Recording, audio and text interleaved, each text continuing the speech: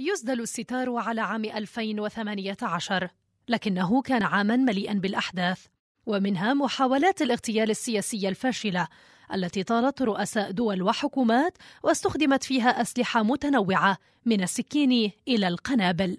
ففي شهر مارس 2018 انفجرت قنبلة وضعت على قارعة الطريق أثناء مرور موكب رئيس الوزراء الفلسطيني الدكتور رامي الحمد الله في منطقة بيت حانون شمال قطاع غزة.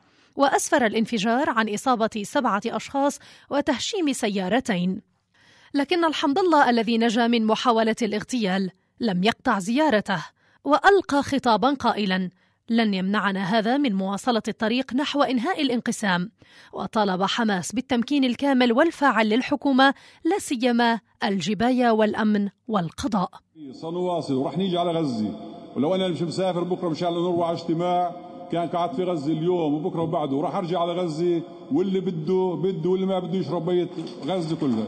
وفي شهر يونيو شاهد العالم أجمع لحظة انفجار منصة كان رئيس زيمبابوي أمرسون مننغاغوا يقف عليها ملقيا خطابا أمام تجمع انتخابي ولم يصب الرئيس بأذى. وأخرج من موقع الحادث بسلام. وهو ما جعل البعض يلقب يوم الثالث والعشرين من يونيو 2018 بيوم الاغتيالات السياسية الفاشلة في إفريقيا.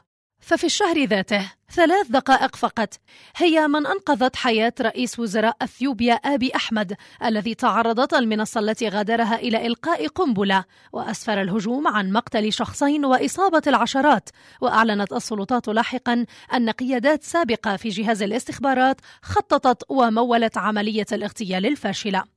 وفي الرابع من أغسطس كان الرئيس الفنزويلي نيكولاس مادورو يلقي خطابا أمام حشد عسكري عندما دخلت طائرة مسيرة تحمل متفجرات إلى المكان وانفجرت ما تسبب بإصابة سبعة جنود بالقرب من الاحتفال العسكري وأخرج الحرس الرئيس الفنزويلي من المكان سالما.